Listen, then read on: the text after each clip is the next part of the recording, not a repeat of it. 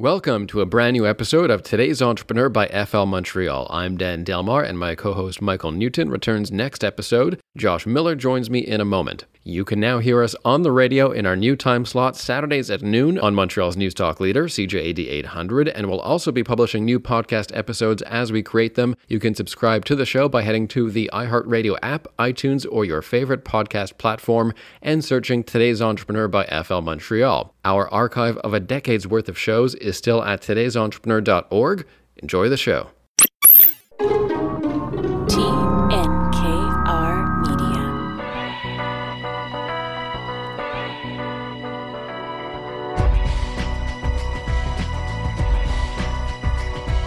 Welcome to today's Entrepreneur, a program about the entrepreneurial spirit that drives Quebec business, presented by FL Montreal. Dan Delmar and guest co-host Josh Miller with you, in for Michael Newton of FL Montreal. Welcome back, Josh. Hello, Dan. Ah, nice to hear that. Hello again. So, um, we were, of, of, course, together on the show for what 11 years now, and um, you did move on. And we're going to talk about moving on a little bit in a sec. Um, we're going to speak to some entrepreneurs uh, who are very well known in Montreal. 1642, they make tonics and drinks and all kinds of stuff locally, uh, employing over 400 people. So they are our profile this evening on today's entrepreneur. And later in the show, trustee Patrick Sullivan joins us to talk about dealing with the banks during this very difficult time and insolvency this year versus last. How patient are your banks and how best to communicate with them. So first, how's it going, Josh? How's your, uh, you know, pandemic been? Uh, pandemic's been, of course, very interesting. I'm actually in quarantine because I had a, a business trip to the U.S. and now uh, following the rules as uh, as we all should from uh, from from to keep to keep this pandemic low uh, and hopefully minimize it or eliminate it soon. Uh, so it's it's been an interesting year. There's no question dealing with people working remotely, dealing with the inefficiency of that. Uh, but the world still turns, and uh, and you got to adapt where you have to adapt. I noticed you passed your one year anniversary, um, you know, at uh, at MHG Rockland. Now you're someone who spent their entire career at one place with Michael Newton side by side at, at FL. How do you feel about that transition? And in your case, obviously, the transition wasn't you know urgent as as it's been for so many people in the last year. But what advice would you give for people that may find themselves, uh, you know, overhauling their life's work? I would say don't get stuck on looking back. Look forward. Uh, you know, there's there's so much knowledge that you may have gained in your existing job or career that no doubt will apply to the next step. That no doubt can bring a different perspective to where you go next and i think it's a little bit exciting because you're you're taking knowledge that you've applied in a certain situation and taking it to a brand new set of circumstances different people different uh, sector or industry. And it's it's you know while there is a scary factor to it no doubt uh, i would say the exciting factor the excitement factor is that much more. And it's it's amazing what kind of what kind of feeling you can get when you change and you start something fresh and new versus somewhere where I was there for 30 years. So it was quite a long time. But even if you're there for a few years, everything is still uh, can be very exciting, very new. Just don't be afraid. Don't look back. And of course, you know, one of the reasons I changed because it was a very difficult decision was I didn't necessarily want to regret a regret. And I definitely don't have one. And it's been uh, it's been quite a ride to change careers during the pandemic, I must say. I'm sure it is. And uh, speaking of, you know, refreshing and um, you know, rejuvenating, I, I want to talk about um, this uh, this trend. It's called a SPAC, and it's a new way to invest, and it's all the rage for 2021, especially at the higher levels. Josh, what is a SPAC? Well, SPAC is a special purpose acquisition company. And while it might be all the rage for 2021, it was all the rage in 2020, and it has been around for quite a number of years uh, five, six years or so.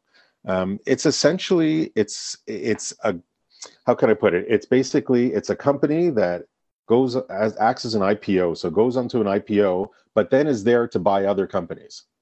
So it, it's almost as if uh, if you didn't want to get into an IPO, if you didn't want your company to get in, uh, you can approach a SPAC, which is call it a special private equity type firm that is listed on on on a stock exchange and you can actually sell your shares to them and become part of that SPAC, part of that special purpose acquisition company. Like everything else, you know, it's you you get on the open market. There is a risk. There's certain special rules with SPACs, so your downside risk actually is is limited to a certain degree. But at the end of the day, it's still speculative. And like a mutual fund or private equity or or or some type of pooled fund, it really boils down to who's leading that group, who's leading that fund. Where are the, where's their expertise and where do they want to look to invest your money? Let's end with um, cybersecurity. I actually had a bit of a data breach situation uh, today. Actually, I, I installed a, an extension on my browser that was uh, bought by apparently and without me knowing, but by an unscrupulous party. So I had to undo that. That was about a 45 minutes of my day, actually, 45 minutes uh, that I lost today for for what we used to call twiddle this week in data loss. That's right. And I, I, would say cybersecurity is probably one of the number one issues that uh, that we were that we needed to deal with, uh, certainly in the, my current position, uh, and that's because there's so many factors. First of all, everything is run, all the data. You know, every as we go more paperless, we really have to be concerned about the backup of our data. But because we have a lot of unscrupulous people out there, combined with the fact that we have a tremendous amount of people working remotely that don't necessarily have high security levels in their own home and connections to the office, the internet, uh, which is a, a, huge opening for all the all the ransomware people that want to come in and attack. This has become uh, an issue that is absolutely huge. And entrepreneurs, if you're not, if you haven't dealt with it, you're already behind. But I mean, there's there's so many different effects to it between teaching your your own people what to look for, what not to look for, the phishing, the spear phishing. Uh, you know, phishing is one thing. Everybody sees these mass emails. Spear phishing is when they kind of, you know, clamp onto an existing email that they found in your system and take over that email chain as if you're talking to that same person. So it's, it's as if you're feeling that you're right at home with your supplier, and then all of a sudden they're suggesting things, and you might be directing money elsewhere. Uh, you know, you can insure against it. There is cyber insurance, but that too is an interesting avenue because usually they have sublimits. Usually there's you can have a great million dollar policy, but it doesn't mean that if you got phished, then you know maybe there would only be a fifty thousand dollar sublimit to that policy. So you really have to, you know, I would say cyber insurance can be very useful and very important. Certainly with you know if you have to give uh, pay ransom that being said, read the fine print because just because you have a million dollar policy doesn't mean it covers a million dollars of everything. So it's really there's a, there's a lot to, there's a lot to do, but I would say educating your people, uh, educating the team, and having the right security software in place. It's got to be near the top of the list. And let's go to a company that, um, well, I've, I've been a customer of for quite some time. They make delicious beverages. 1642, uh, named after the, the year Montreal was founded. Joining us is uh, the, are the founders, Bastien Poulain and Melanie Mamet. Bastien and Melanie, welcome to CJAD. Hello. Hello. Josh, uh, you know, I, I, with the simplest question. I do, I do. Notwithstanding the fact that you called me old, I'll, I'll, I'll still jump in right now. Thank you, man. and really, the really the, the easiest question, uh, just to make sure our listeners understand exactly what you do, Bastien Melanie. What exactly is 1642? What do you bring to the market? Uh, hello, everyone. So yeah, we um, we started in 2015 it's already six years. And uh, what we do in, in, life, we're producing here in Montreal uh, mixer, premium mixers and tonics, like uh, tonic water, ginger beer, uh, to do exceptional cocktails. I know it's the 28 days of uh, dry February, but you can do mocktails also. Uh, and we started in 2015 with a cola, with a maple syrup cola. And now uh, we have uh, three products and soon five. we're going to talk about it maybe later. Uh, and we're distributed um, across Canada, in Ontario, uh, BC, and uh, Quebec, of, of course. Now, were either of you in this business beforehand? Like, why get into this business? What were you doing before? I, I will let my uh, associate answer that. Okay, so uh, as you as you can hear, uh, I'm from France and I moved uh, to Montreal uh, seven years ago. and uh, I studied in finance and accounting. And before before 1642, uh, I worked for Club Med, so I traveled a lot, but I, I, I worked in finance. And uh, I met Bastien maybe uh, six months after my arrival in Montreal, but I used to work in a finance department before 1642. And Bastien, and, what were you doing before?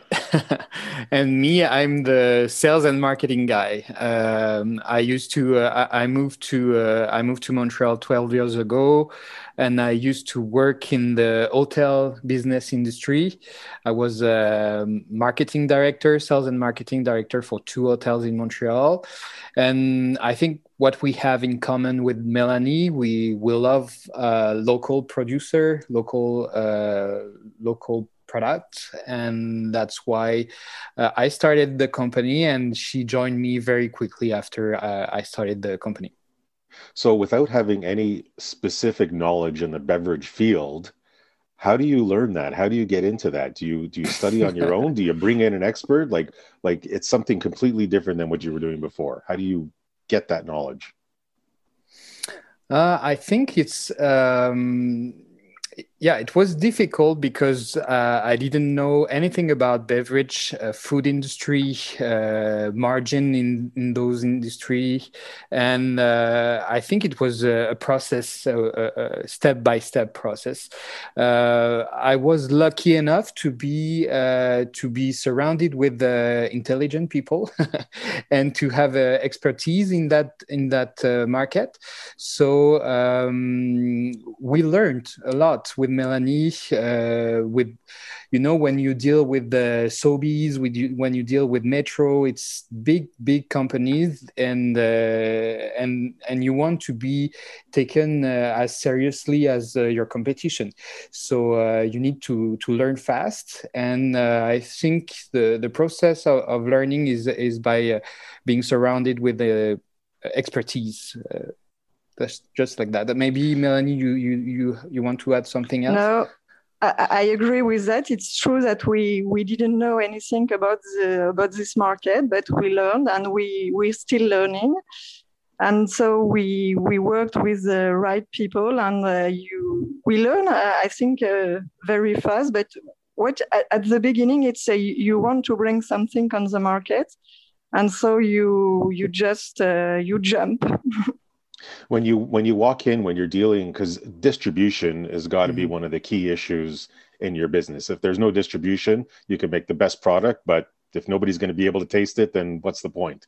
So when you're when you're just coming out of you know you're you're new to this game and you're you're going to find distribution channels walking into big big box stores like a Sobeys or whatever how do you what like what are the lessons that you've learned? How did you make it happen? Or is it just a question of paying for shelf space Mm.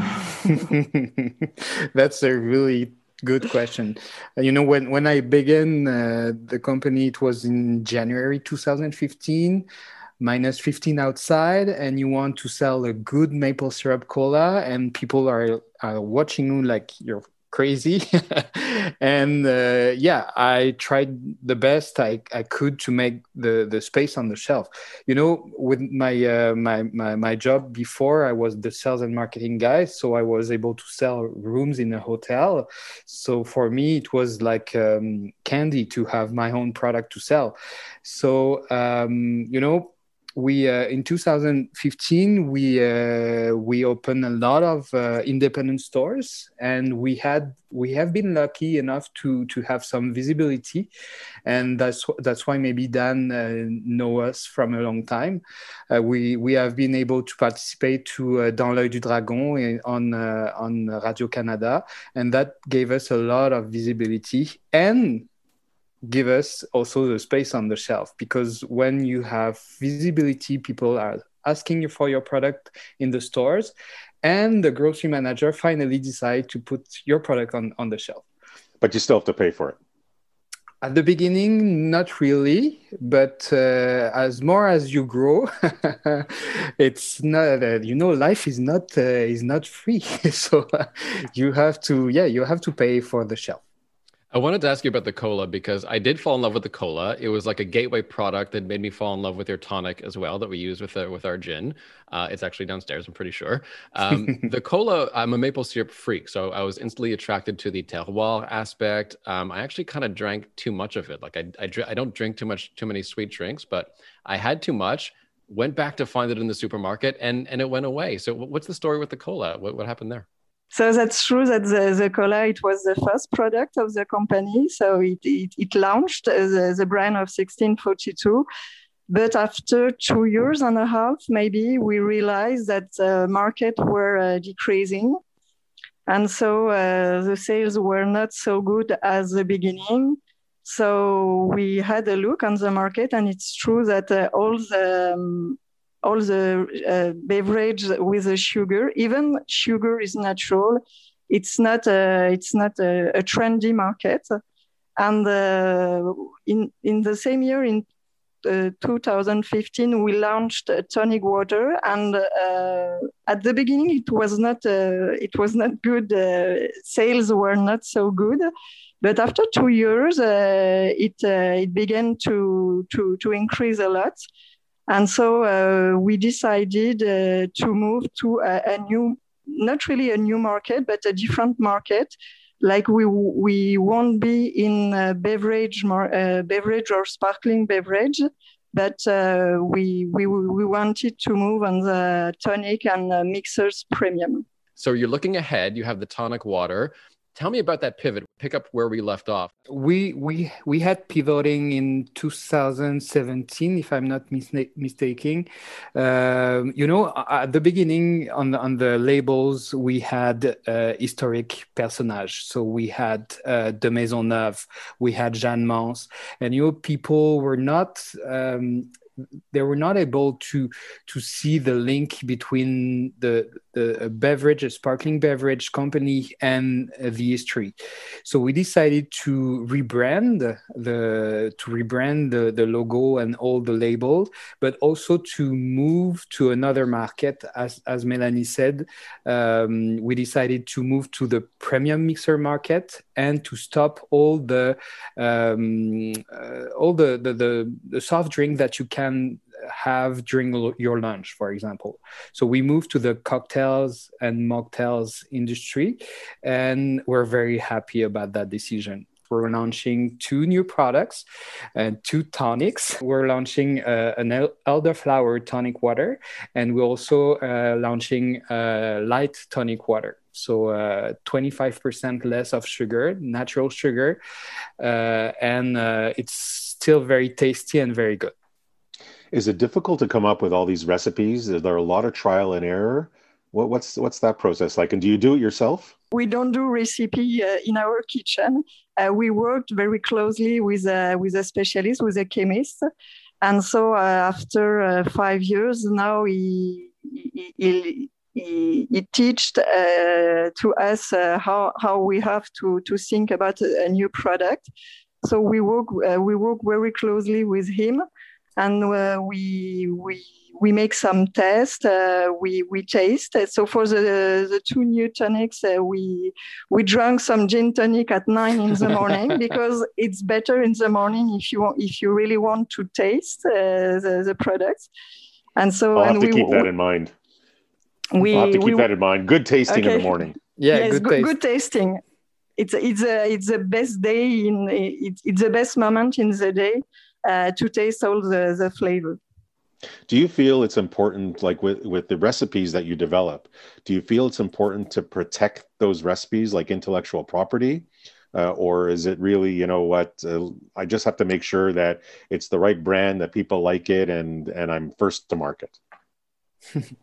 You know it, it's it's cool that you you uh, you asking that because um, when the when I first met the the, the chemist in 2013 um, and I was the idea of the maple syrup cola uh, I asked him is it easy to do a coca-cola recipe? And uh, he told me yes it's really easy. It's really easy to do a good cola that could taste the same as the the red and the blue brands but the big difference is uh, their distribution and the brand uh, it's it's easy to copy, but it's so difficult to to market the product uh, when you have multinational like that on the market. So you would say that your your branding is and your your marketing is even more important than the recipe because the recipe is easily reverse engineered. Mm. Exa- exactly. You you can you can do the same recipe, but uh, what makes a difference is uh, is everything about brand and marketing and the and the storytelling. Mm. So when you're when we're talking about branding and getting getting people to know that brand 1642 that you know Dan has been drinking for many years, uh, and and I have no doubt that the audience will start drinking going forward if they haven't already is there uh, did you do any campaigns to get out there that that worked or maybe maybe you can share one that didn't work I, I, will let uh, Bastien, who is uh, the specialist guy of, of marketing in 1642. There's a there's so many mistakes we did uh, during those six years, uh, so we wouldn't have enough time to talk about that. But um, yeah, to to make people aware that you live, you you have a product on the market it's really really difficult. So what we uh, in, in the first years what, what we try to do is to do more uh, pr public relation and to um, we spoke a lot to journalists for the uh, about the impact of buying local of supporting 400 jobs in, in montreal. And we were a little bit david against Goliath. So that makes a good story uh, in the news. Um, after that, for the mistakes that we did, uh, we did two crowdfunding campaign. Um, all those platforms that uh, give you advice on it's going to be uh, very cool and you, you will be uh, everywhere and everybody's going to talk about your product. It's not true. Uh, they're taking a, a a bigger percentage of the amount that you, you're you're crowdfunding, but at the end, uh, it's not that uh, huge in terms of marketing. So I would not recommend to do it. Sorry for uh, for those platforms, but uh, that's what that would be my advice. Me neither, by the way. And I do PR uh, during the day, and uh, and I have to say that those channels are often you know very problematic for brands. And PR is also now that I think about it, how I actually came to your product as well. I'm pretty sure it was an article in La Presse or something. Um, tell us about the, the social mission. Was that was that key to selling the story? The fact that you are terroir, that you're taking Quebec products. Mm-hmm. Um, and uh, and and do you think you could uh, you could go further with that mission? You know, like Coke, Coke and Pepsi don't brag about their terroir. You know, is there any room for for for that kind of vibe in in, in the United States to expand? It's not really about terroir, but about uh, local uh, lo- local industry and local product. And uh, at the beginning, 1642, it has been created to offer good products, but to offer local products and to support local business. So it was uh, with uh, maple syrup because the maple syrup is a is a big hit uh, in Quebec, but it, was really uh, since the beginning the, the, the, idea of, of, of local products was uh, was so um, so important for us and it's still important and uh, local doesn't uh, always means that just uh, from Montreal but you uh, now local for us is also with partnership. And that's what we do in ontario that we have some part some uh, some partnership with uh, with local distillery but in ontario just before we uh, i know we're, we're running out of time but just quickly i know i know for entrepreneurs when they're dealing when they're dealing production and they they don't always do it themselves sometimes they have strategic alliances and and subcontract it out which i believe you've done over your years what would be the the kind of a little bit of advice or what's worked for you when you've selected that right strategic alliance or strategic partner to help put your product out there to manufacture it hmm. Um, i think when you you you're doing co-packing like what we do right now, um, it's really important that uh, the two companies are as the, the same values. Uh, you want to go in the same direction, and if you don't see any uh, values that you share, uh, stay away from that co-packer. Uh, so uh, when we when we decided to because we changed three times of plants during those six years with Melanie, every time we're we have big meetings at the beginning and we're we're challenging the values because uh, you you can go further if you don't share those values. We'll have Bastien and Melanie's one piece of advice for today's entrepreneur on the way. And up next, Patrick Sullivan speaks about dealing with the banks in these fraught times, about credit, about insolvency, and more. Patrick Sullivan, welcome back, sir. Always a pleasure, guys. First, I, I think the good news generally is that the banks, Canadian banks, have actually been quite patient with, with entrepreneurs this year. Well, l- let me give you a little bit of history of what happened in 2020. Uh, when the COVID hit, and all of a sudden everything came to a stop, there was a, a, a huge panic, obviously, in, in the financial community as to how they were going to deal with it. Uh, the insolvency professionals were clapping their hands like I was, saying, Hey, guys, we're going to have a tsunami of files. It's going to be unreal. Well, the end result is just the opposite because with all the government subsidies that, that were put in place, uh, statistic wise, insolvency in 2020 went down, generally speaking, for commercial insolvencies by about 23%. Consumer side went down 33%. So it goes without saying that what happened is government subsidies, low interest rates, and the tolerance of the bankers uh, really came into play uh, in order to, you know, sort of alleviate what we had expected to happen. Josh, uh, so what happened here? Is this government stepping in, telling the banks what to do, or are we just blessed with really kind bankers? Uh, no, I, I, I don't think it's just the kind bankers, uh, although I know many of them and they are pretty kind. But I think there's a couple of factors. I think definitely the government programs that have come in have helped significantly. Uh, and I do believe that the bankers are also, you know, pull a plug on a company during a pandemic and it's really bad PR. So do you do you stretch out the the the the the parts of the ratios and understand and have a little bit uh, more elastic way to to deal with matters? I think that's an aspect too. But there's no question people are spending less in their companies uh, because of certain things. Not all companies. I'm generalizing. Uh, and there's some extra money that's come in. If you've gotten subsidies, whether it's a wage subsidy program from a company standpoint or a CERB personally, uh, you know, it's certain, and you, and you're spending a little less. So it's all going in that same direction. But Patrick, I would imagine that that I mean the the banks still have to watch the companies. They still have to keep an eye on them. Absolutely. What's happened a lot in 2020, and it's still on, an ongoing thing. Many companies that were faced with uh, struggling cash flow, uh, obviously ratios that were not being met. As you were saying, the bankers have a social responsibility. We're not going to pull the plug on anybody. But what we are going to instigate is what, in, in the banker's terms, we call it a forbearance agreement, where we will reopen the dwellings we have with a client, the contracts we have with them. We're going to look at the ratios because in many situations they're out of line. So we're going to revisit the whole banking process with that client in order to sort of help them. Uh, so we're going to forbear certain things, but we're also going to ask that the company does things in return, uh, namely more reporting. Uh, they're going to be faced with sometimes an, an, external consultant to go and you know and provide them with help.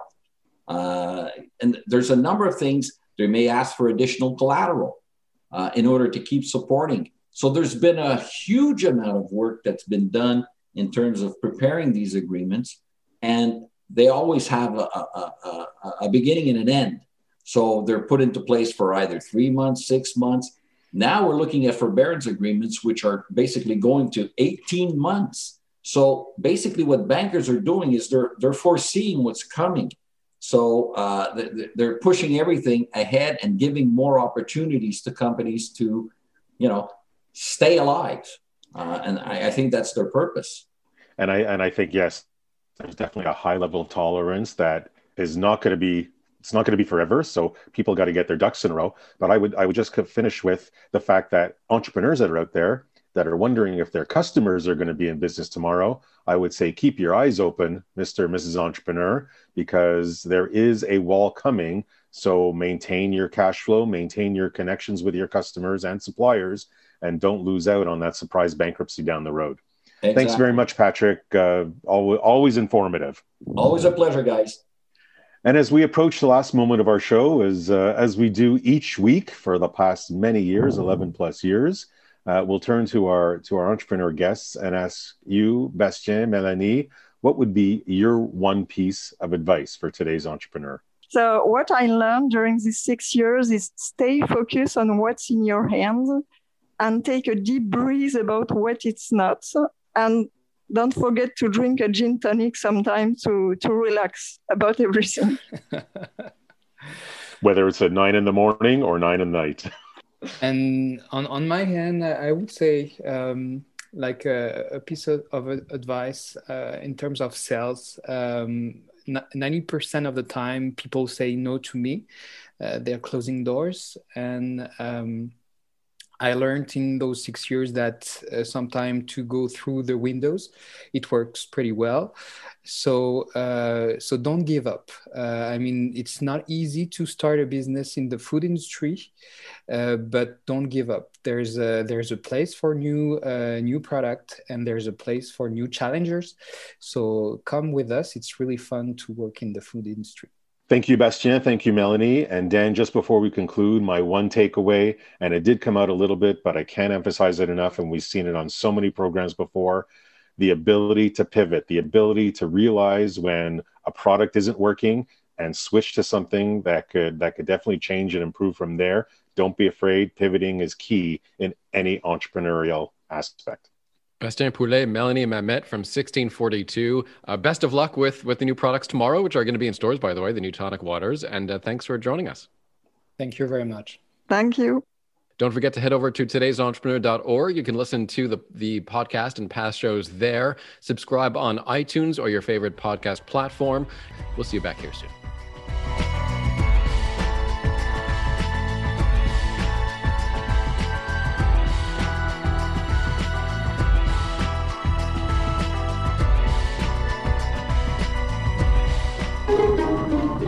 This has been a production of TNKR Media. Good talk.